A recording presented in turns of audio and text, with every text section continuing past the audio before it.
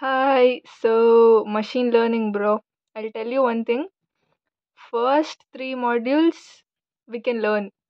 Fourth and fifth module, I don't know because I still didn't learn.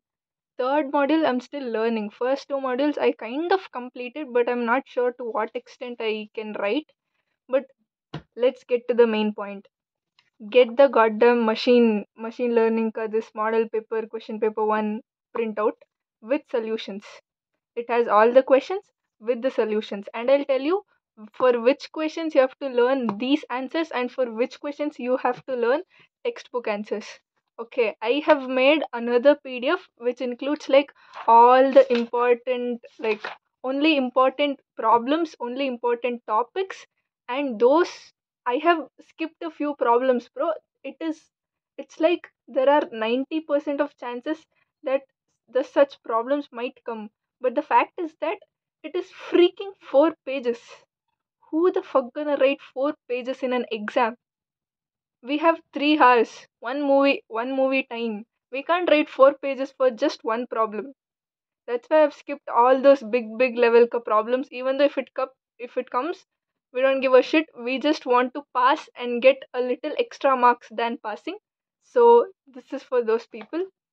And yeah, first module it's easy. And it is only theory. So learn every theory part in first module and learn all the numericals like i've written actually. I've written like first question whatever question they've given in that printout it's not that good. So i have written this from the textbook and all these diagrams for the second question and this data pre-processing answer all these th- all these stuffs and the numericals i've written. And for numericals i'm going to tell you what you have to do. You should um there is some someone called Af- afnan marq okay. His youtube channel one hour machine learning problems. Just the problems. Okay. Watch that. Each and every single problem from the first three modules he has explained each and every single of the problems and then there is this TIE which which has given some questions which is actually promising this time promising this time.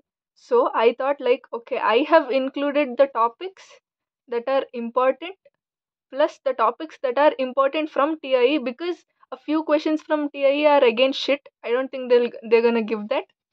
And problems that are explained in this in this video so all these three i've just combined i've made one pdf and for this pdf i have completely taken the screenshots from the textbook. It is direct screenshot from the textbook. Problems you leave you can learn from after watching the video. For all these theorems and all learn whatever that's there in this. And i'll tell you two things that i will do and maybe you can also do. So first thing is that write questions which have more theory or just full theory. So i have included all the theory questions like literally all the important theory part i have included in that. Okay and then if there is no choice for you then attend numericals. Attend numericals. Okay don't go to numericals directly like dumb fuck. I'll tell you what happens.